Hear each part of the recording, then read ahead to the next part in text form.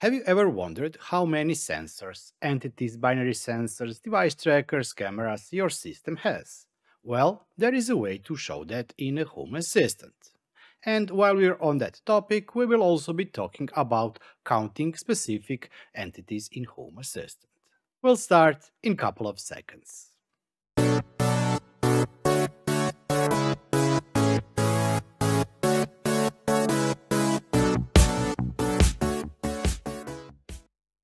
But first, let me start by thanking all those wonderful people who are supporting me on the YouTube and have become YouTube channel members. Thank you all for all of your support. And also thanks to everybody who watched, liked or subscribed to my channel. If you too want to support the channel, you can do so by clicking the join button down below. And now let's get started with today's video. In a video called My Own Setup, version 3, I've shown a couple of things that I have in my Home Assistant, and there were some questions on how did I do that. Today we will be covering three things. First is this system statistics, where I can see the list of all the entities uh, sorted by type that I have in my Home Assistant, ranging from alerts, automations, device trackers, input selects, plans, sensors, utility meters, and weather information. But while we are already doing that, and it will be a very simple task, we'll also cover two more things. We will also be covering Auto Entities card because it allows you to track certain type of the devices or entities that match your search criteria. And while we are already doing that, we'll have a look on how you can make this. This is a counter that counts devices based on certain area where they are located and then shows you how many, in this case lights and switches, are turned on. But let's start first with the system statistics. How can you create a list like this? Well, that can be a little bit of pain because for each of those sensors, you have to create one manually. So let's go to Visual Studio Code. As you can see here, I have a lot of YAML files.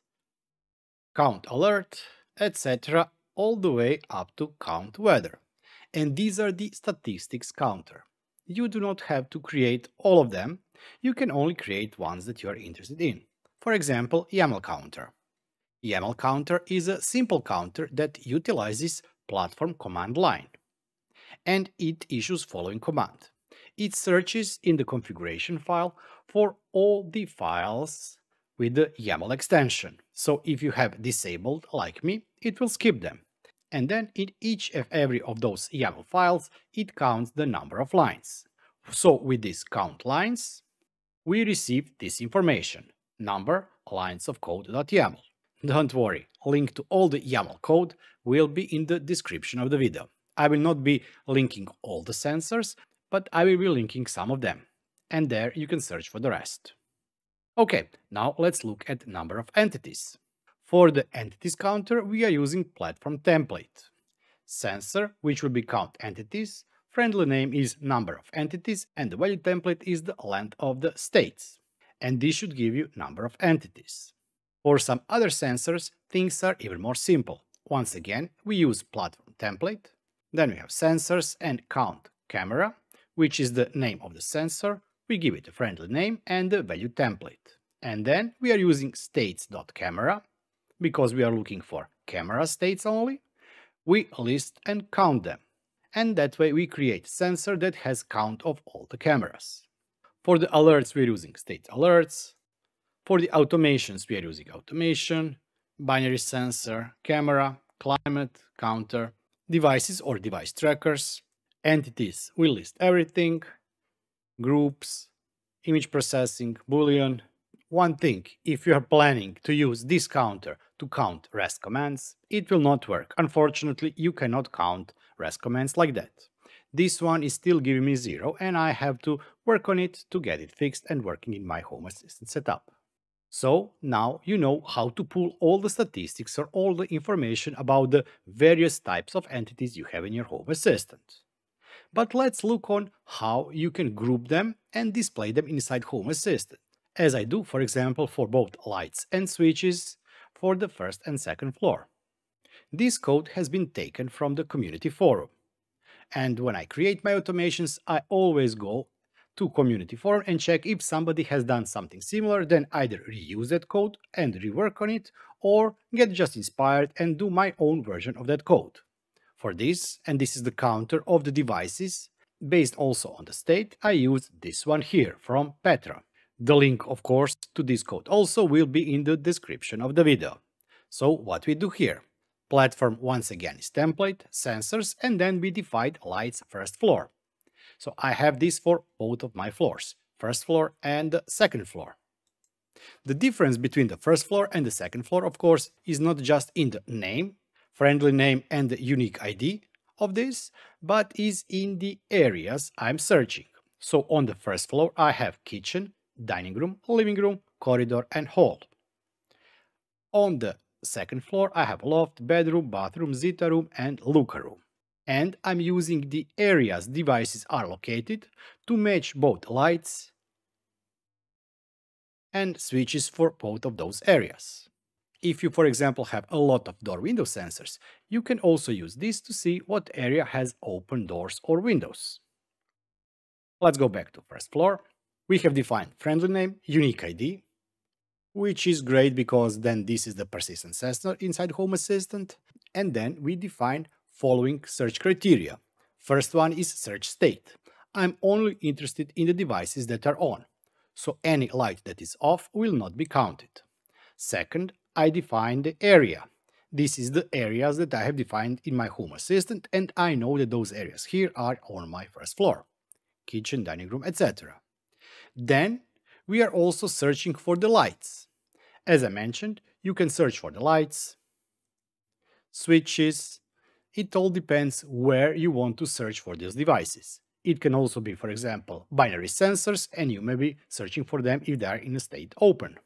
And the rest of the code is more or less similar for both switches and lights. We are searching for light in state light, where the search state is on, in the areas, and this is the search areas. And at the end, we receive a list of all the lights which we now here are parsing against the list and length, which could give us a count number. You could probably do the same thing by replacing this here with count.